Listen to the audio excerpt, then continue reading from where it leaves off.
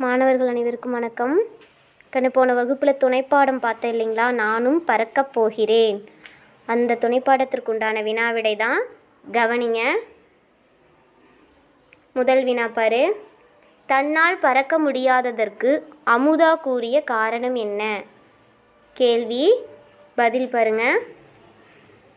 தலைப்பெழுதிக்கோ தன்னால் பறக்க முடியாததற்கு அமுதா கூறிய காரணம். அப்படின்னு நீ அதோட ஸ்டிக் யூஸ் பண்ணிக்கலாம். சரியா? அடுத்து பதில் பாருங்க. பறவையை விட அதிக எடையுடன் நான் இருப்பதால் தான் என்னால் பறக்க முடியவில்லை என்று அமுதா கூறினாள். அடுத்து இரண்டாவது வினா. பறப்பதற்கு ஏற்ற வகையில் பறவையின் உடலமைப்பு எவ்வாறு உள்ளது?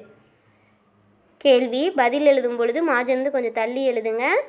இது பாயிண்ட் பாயிண்டாக இருக்கிறதுனால ஸ்டார் குறி போட்டு எழுதுங்க சரியா? எடை குறைவாக உள்ளது. முதல் பாயிண்ட்டு எடை குறைவாக உள்ளது. அடுத்து பறவையின் பின்புறவால் துடுப்பு போல் உள்ளது. அடுத்து பறவையின் இறகுகளிலும் எலும்புகளிலும் காற்று பைகள் உள்ளன. இவையே பறவையின் உடலமைப்பு ஆகும். புரிஞ்சுதா? அடுத்து மூன்றாவது வினா. பறக்கும் விமானத்தை கண்டறிந்தவர்கள் யார்?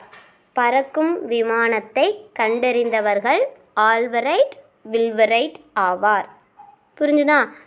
இந்த மூன்று வினாவும் பாட எட்டில் அழகாக எழுதி எனக்கு அனுப்பணும். சரியா? நன்றி.